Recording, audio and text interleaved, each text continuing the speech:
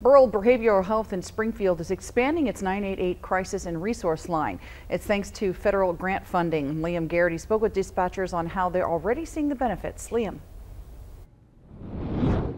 Francis Burrell got $100,000 in grants a few weeks ago, and they're already seeing the benefits from it. This is from the American Rescue Plan federal grant funds. They tell me dispatchers got new training, equipment, and a new hire. I help you? Know, there's nothing worse when somebody calls and they can't be helped. We want to help everybody. Burrell Behavioral Health has expanded its crisis line using a $100,000 grant. Andy Tate is a crisis line supervisor and dispatcher. He says this money from the Springfield Greene County Health Department is already going to good use. Better handle the increased volume of calls. Our answer rate is like uh, 2.5 seconds. Tate says this technology can also track calls and decreases the chance of a dropped call. The director says there was a need.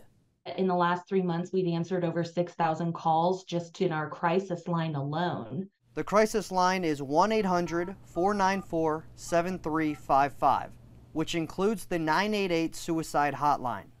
Tate says the money goes towards training dispatchers for more situations like housing assistance, hunger, veterans issues, pregnancy, and more.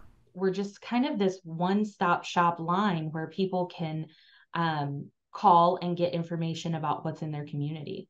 They hope this crisis line does more to help anyone in need here in Greene County. People have different resiliency levels, and people have different uh, resistance to receiving help, and you know we need to be able to overcome that.